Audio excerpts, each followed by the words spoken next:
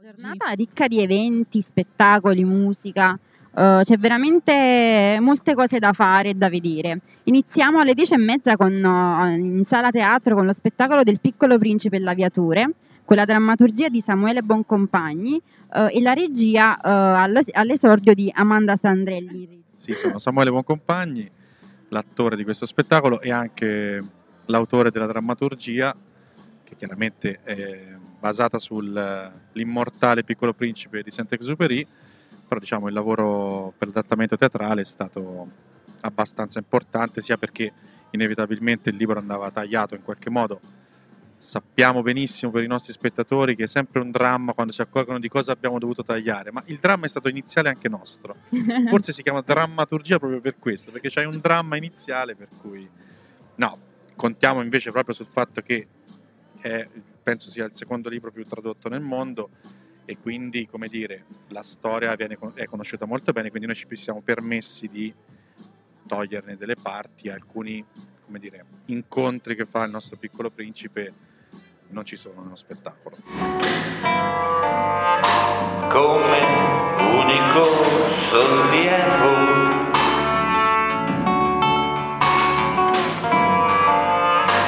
la dolcezza del tramonto sul tuo piccolo pianeta. Ogni volta che volevi. Se la pecora mangia il fiore, è come se tutte le stelle si spegnessero. Non è importante questo?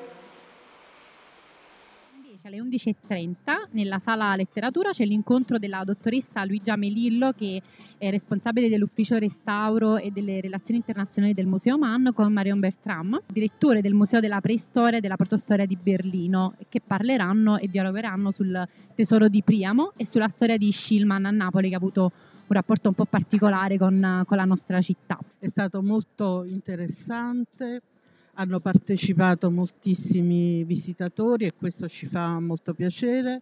La maggior parte delle persone non sapeva che Schliemann è morto il giorno di Santo Stefano del 1890 proprio a Napoli, in pratica a Piazza Carità, quindi a poche centinaia di metri dal museo. Ed è questo il filo rosso che ha collegato l'intervento eh, di Marion Bart, eh, Bertram e di Luigi Necco eh, nel nostro museo per, eh, per questo evento. Intellettuali, paesi stranieri, autorità politiche e culturali hanno premuto fin tanto che quella notizia data da noi per primi nel 99 non è diventata una specie di bilancia aprite il tesoro alla visita, ai visitatori. La Coop Culture eh, si occupa dei servizi museali, non solo della biglietteria, ma appunto anche dell'accoglienza e dell'assistenza eh, al pubblico che partecipa a questi eventi e eh, soprattutto ehm, in questi giorni ci occupiamo anche della promozione degli eventi stessi ai visitatori che ci sono al museo, non soltanto quindi proprio qui direttamente al museo, ma anche ehm, per, grazie ai social e eh, per, la, per la nostra città, quindi proprio nella nostra città. Quindi vi occupate anche della comunicazione? Della comunicazione sì, a stretto contatto appunto anche con tutto lo staff eh, del museo e con la direzione. Alle ore 16 in, nella sala del Toro Farnese ci sarà il giornalista del mattino Federico Bacalebre che intervisterà Sergio Cammariere, eh, il noto eh, artista italiano che mh, mm, è famoso soprattutto all'estero, eh, anche con le colonne sonore che ha prodotto.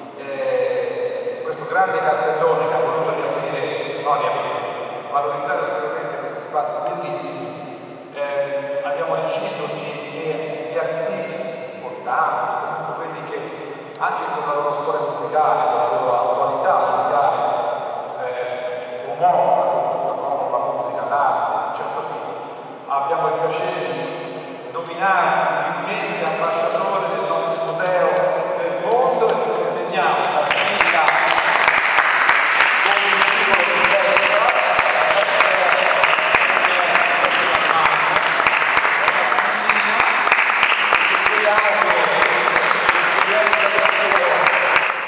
Sono onorato e ringrazio infinitamente per questo pensiero. Eh, il nostro compito è quello di donare emozioni, di emozionarci dentro e non essere falsi, cercare di essere schietti possibile. alle 18 nella sala teatro c'è l'Ediporé oltre la fine della, della città nuova con Lucilla Giagnoni e Fiammetta Fazio. È un dialogo fra un'attrice, c'è una narratrice e una storica grecista. Ci saranno interventi musicali dal vivo di Luca Nulcis e Egidiana Carta. È un, percorso un po' particolare di linguaggio fra musica, eh, sia eh, musica, teatro e come dire spiegazioni. Siamo mh, una professoressa di un liceo classico che qua dentro al Museo Archeologico ci sta proprio bene, che è la mia consulente personale, la persona mia più cara amica quando io mi metto a fare gli spettacoli eh, di cultura classica, eh, tragedie. Allora coinvol- coinvolgo sempre lei. Io avevo scritto uno spettacolo sull'Apocalisse in seguito ai fatti dell'11 settembre del 2001. In quel contesto lì avevo coinvolto la professoressa per, degli per ragionare su alcune traduzioni sul greco del testo dell'Apocalisse.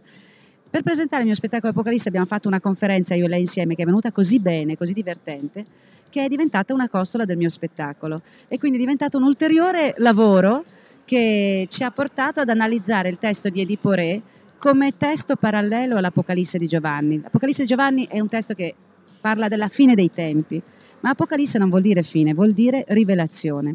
Il mondo non è mai cambiato, è sempre cambiato il nostro sguardo. La rivelazione è togliere un velo per poter vedere il mondo con occhi nuovi.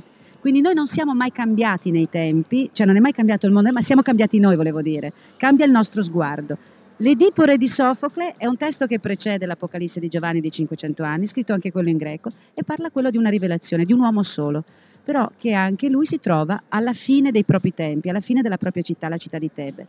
Quindi New York 11 settembre, fine di un'epoca, Apocalisse, Gerusalemme, città che viene rivelata, insomma Tebe di Edipo, città appestata.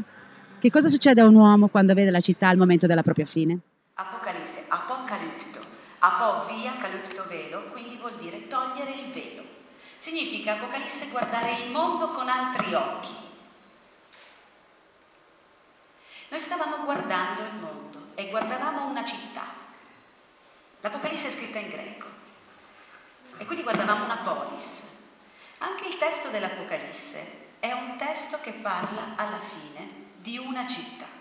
È una città, la Gerusalemme celeste, che scende giù, che non sta all'alta in cielo, ma scende giù alla fine sulla terra per chi sia disposto a vederla. Vogliamo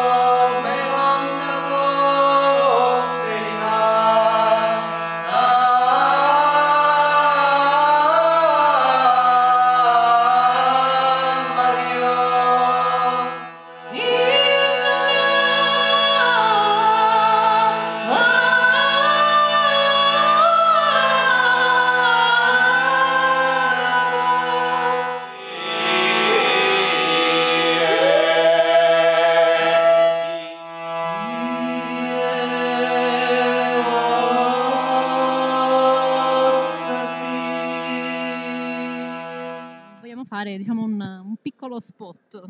Sì, un piccolo spot per uh, Month for Kids, eh, che è un progetto del, del Museo Nazionale di Napoli. In Ehm, collaborazione con Meridonare. con Meridonare.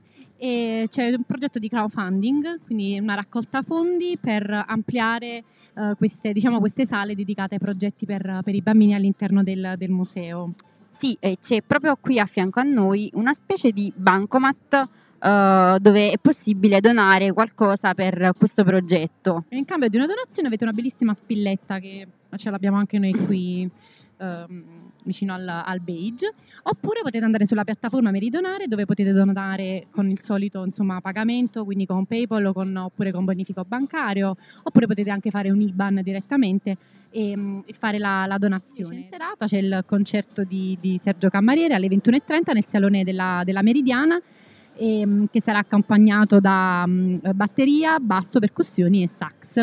Sì, ricordiamo che per acquistare i biglietti degli eventi della mattina e del pomeriggio basta recarsi in biglietteria, eh, che è compreso anche il, diciamo, la visita al museo, mentre per gli eventi serali eh, si può prenotare online sul sito del eh, Museo Archeologico di Napoli, quindi www.museoarcheologiconapoli.it e sul sito di Coop Culture.